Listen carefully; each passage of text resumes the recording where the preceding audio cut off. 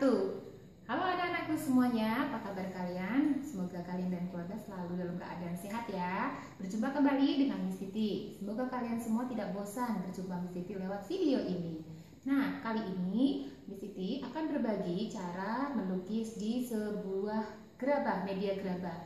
Kemarin di kelas lesson kit kalian, Miss sudah membawakan gerabah semacam ini ya.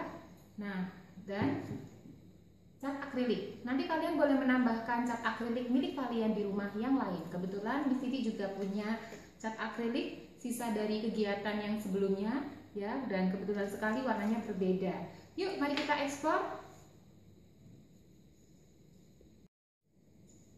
Alat tambahan lain yang perlu kalian siapkan yaitu wadah, wadah untuk tempat air ya.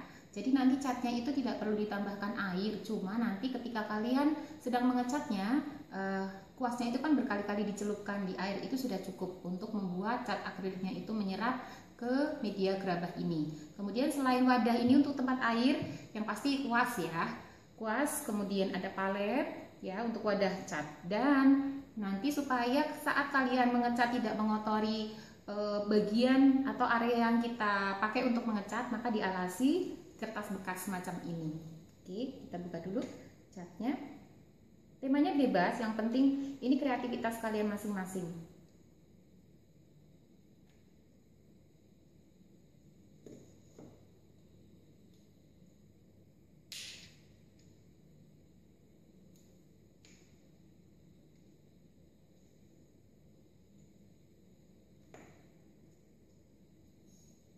Langsung kita cat dulu.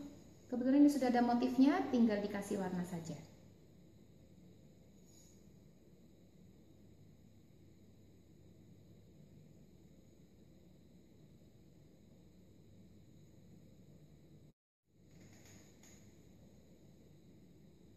Cat akriliknya tidak perlu dicampur air ya. Sudah uh, cukup untuk media gerabah semacam ini.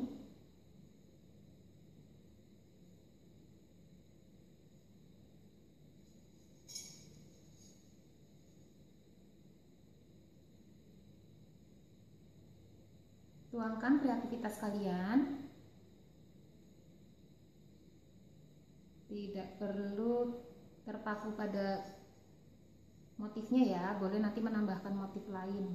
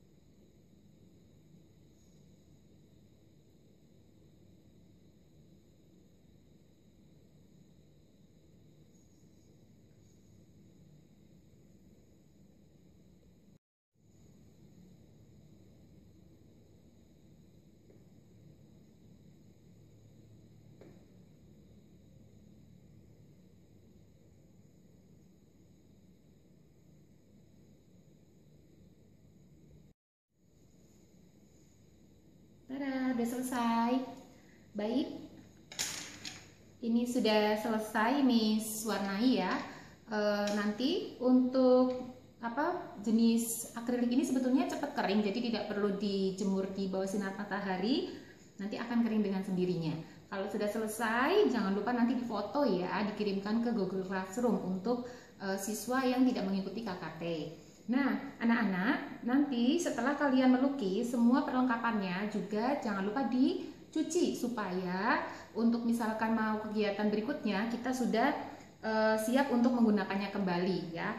Palet, kemudian kuas dicuci dahulu baru disimpan. Terima kasih anak-anak sudah melihat uh, tutorial cara melukis di gerabah ya. Semoga kalian semua nanti bisa mempraktekannya di rumah dengan telaten, yang sabar dan penuh kreativitas.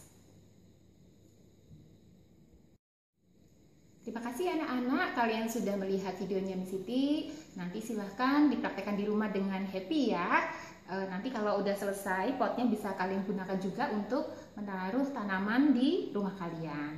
Jangan lupa selalu jaga kesehatan, jaga kebersihan, dan selalu memakai masker ketika kalian keluar rumah, mencuci tangan menggunakan sabun, dan menjaga jarak. Terima kasih. Assalamualaikum warahmatullahi wabarakatuh.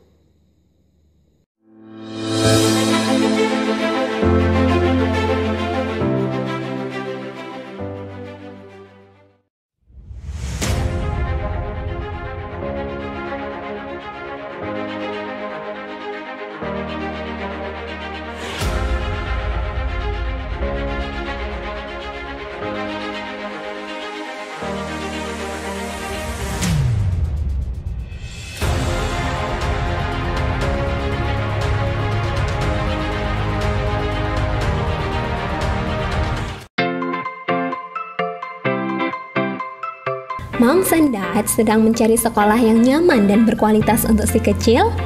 Hari ini telah dibuka penerimaan siswa baru Playgroup dan TK Terpadu Budi Mulia 2 Seturan.